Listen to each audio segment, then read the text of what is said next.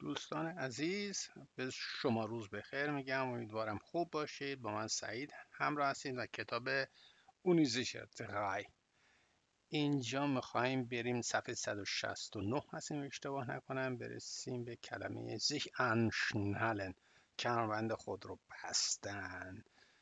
اگر از این ویدیو خوشتون میاد به دوست خودتون لطفا توصیه بکنید. subscribe بشید و زنگوله هم به فشار بیارید که به موقع ویدیو به دستتون برسه خب بریم ببینیم چی میگه کتاب کتاب ما میگه که jedes Auto muss über Gurte verfügen damit sich alle Personen im Auto anschnallen können هر ماشینی باید کمربند داشته باشه also über etwas verfügen bedeutet etwas besitzen etwas haben also die müssen jedes Auto muss Gurte, Gurte haben به این وسیله damit, damit sich alle Personen anschnallen können واسه اینکه بتونن همه sich anschnallen خود کمربند خودشان را ببندن. این فعل رفلکسی هستش. چرا؟ sich anschnallen فارسی هم میگیم کمر خودشون رو کمر ببندن یا کمربند خودشان را ببندن.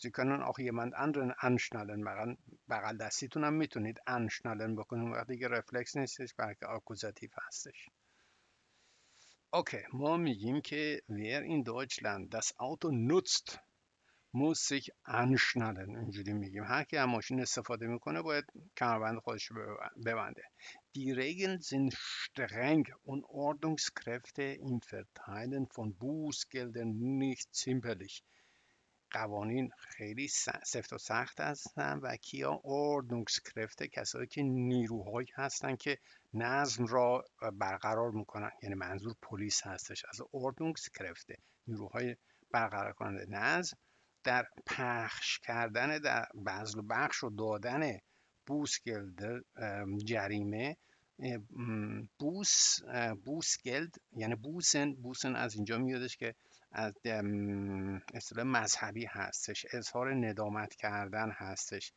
رفتن و به گناه خود اعتراف کردن هستش و جریمه دادن هستش. Bußgeld هم جریمه هستش در واقع و ریشش در مذهب مسیحیت هستش. nicht zimperlich zimperlich هم به معنی چیه؟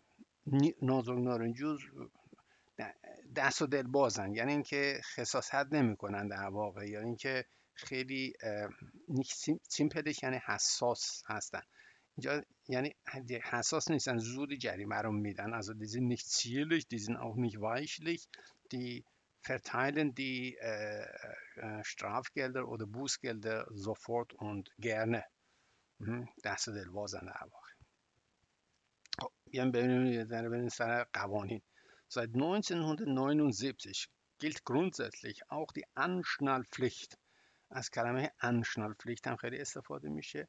اجبار هستش بستن کربند اعضا gilt auch Anschnallpflicht für Beifahrer کسی که بغل دست نوشته auf der Rückbank خب بایفارر معمولا شاگرد راننده هستش. ولی اینجا میگه شاگرد راننده در رکبانک خب بایفارر چی هستش؟ حالا می‌خواد توضیح بده بایفارر چی هست. منظور اهل پرزمون میسن گرد گورت انلیگن همه باید کمربند خودشون رو ببندن. از وزیش انشنادن او ده دین گورت انلیگن سو کم من دست آخ داگن از بشتید از گرونزسلیخ دی فلیخت اصولا این اجبار وجود داره. از بشتید گرونزسلیخ دی فلیخت دست سیخ اهل فرزوک این زاسن انشنادن خب اینجا از کلمه این زاسن استفاده می‌کنیم. حالا فارساگش هم اگه مینداختیم اینش بزرگ میوشتیم گفتیم این زاسن sich anschnallen می‌تونستیم بگیم. زاسن تمام کسانی هستن که اونجا سکونت دارن میشینن در ماشین نشسته اند میشه این زاسن میشه. اوکی؟ کسانی که اونجا هستن. پاساژیر kann man auch sagen okay also dann lese ich es nochmal Es besteht also grundsätzlich die Pflicht, dass sich alle Fahrzeuginsassen anschnallen. اصولا اجبار وجود داره همه باید همه اونایی که هستن باید کمربندشون ببندن پس بایفارر هم که حتی ممکنه صندلی عقبم بشینن auf der Rückbank بانک اینجا چیه به معنی نیمکت also نیمکت هستش در واقع چون که قدیم قدیم قدیم ها اینجوری بوده که اگه یادتون باشه ماشین های قدیمی دهه 60 70 همیشه صندلی نداشتن بلکه یه دونه نیمکت بزرگ داشتن مثل ماشین های شفرولت های امریکایی بودن. is یعنی بانک gewesen مثل نیمکت مانند. واسه همین از زیت بانک از ببخشید روک بانک استفاده می‌کنن یا روک زیتس هم میگن. هر دوتا رو می‌تونید بگید. امروزه دیگه زیتس هستش. Als Beifahrer werden alle bei einer Fahrt im Fahrzeug anwesenden oder befindlichen Insassen bezeichnet. اینجا واسه من مهم بود شما کلمه Insassen رو ببینید. Also, als Beifahrer werden alle bei einer Fahrt im Fahrzeug anwesenden تمام کسایی که حضور دارن و یا اینکه میگیم befindlichen میتونیم anwesend و befindlich کسایی که sie befinden sich dort das ist befindlich ist es اینجور آدم ها اینا رو بسنجتن کسایی گفته میشن یعنی اسم رو اونهایی که گذاشته میشه که تو ماشین حضور دارن یا اینکه وجود دارن اوکی So, jetzt kommen wir zu der Ausnahme. Es gibt keine Regeln ohne Ausnahmen. Also Ausnahme چی هستش؟ اینم بند نیستش چند تا کلمه داریم به دردمون می‌خوره. Fahrten mit Schrittgeschwindigkeiten از شریت گشویندیشکایت سرعتی هستش که به پای آدم می‌رسه. یعنی چی؟ آروم آروم. دیگه حد اکثر ده کیلومتر در ساعت رو میگن شریت گشویندیشکایت فکر کنم ده کیلومتر در ساعت باشه. بیشتر نباشه. حالا کمتر هم رفتین چه بهتر. also fahren mit Schrittgeschwindigkeiten wie rückwärts fahren می‌خواد بگین آسنامه اون چی هستش؟ سرعت آروم رفتن. rückwärts fahren دنده عقب رفتن.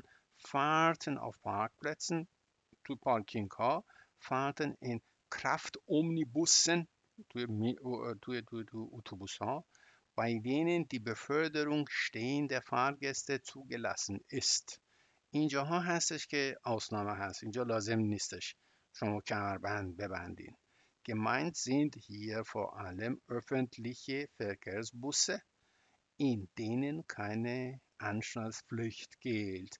منظور یعنی منظور از این کجا بودش؟ از این کرافت اومنیبوس چی هستش؟